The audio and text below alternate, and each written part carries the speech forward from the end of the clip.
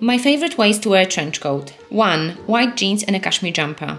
2. Monochromatic with different shades of beige.